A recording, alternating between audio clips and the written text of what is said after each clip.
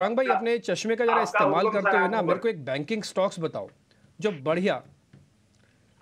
ठीक है सर एक सर बैंकिंग स्टॉक्स बताओ मेरे को अच्छा सा। मेरे को एक ही शेयर लेना है बैंक में। मेरे को आप पूरी सूची मत बताना मेरे को एक शेयर दिलवाओ कोई अच्छा सा बैंक का। चलिए पहले तो आपका और मितेश भाई का हुक्म सर आँखों पर हमारे। आपने जो हुक्म दिया है हम उस पर अमल करेंगे बिल्कुल। तो एक सरकारी बैंक का विकल्प मैं आपके सामने रखना चाहूँगा। और दूसरा एक निजी क्षेत्र का।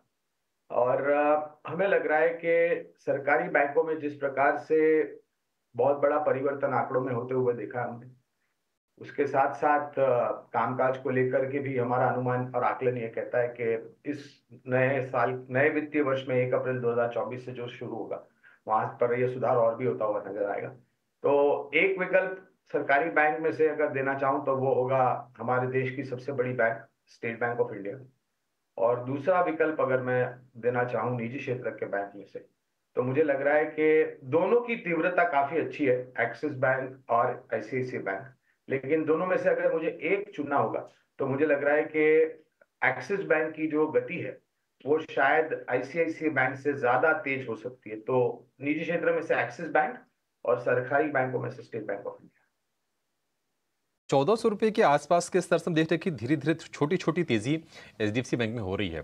लेकिन अब CLC की तरफ़ से ये डाउनग्रेड बाईस से रेटिंग हटा के आउट आउट परफॉर्म की कर दी है और टारगेट में बड़ा कट किया है। टारगेट में 2025 से घटाकर सोलह सौ रुपये और सी का रिपोर्ट का ज़िक्र हम इसलिए करना चाहेंगे क्योंकि आ, जो बाज़ार को लगता है जो हमारे अनुभव रहे हैं कि सबसे ज़्यादा रिएक्शन अगर आता है बिल्कुल कॉन्क्रीट तो सी के रिपोर्ट्स पे आता है। H D F C bank Soni, बताइए आपकी सलाह इस पर क्या होगी? साढ़े चौदह सौ रुपये का भाव है, इस पर यह डाउनग्रेड आई थिंक देखिए, H D F C bank में अगर हम चार्ट से और डेरिवेटिव डेटा से देखते जाए तो मेरे ख्याल से वो करेक्शन वो डाउनग्रेड मूव जो भी इम्पैक्ट हो सकता है बहुत ज़्यादा नहीं लग रहा है मुझे यहाँ पे। मैक्स टू मैक्स एक 1420 तक एक डिप अगर नज़र आता भी है तो वहाँ से बाई हो सकता है।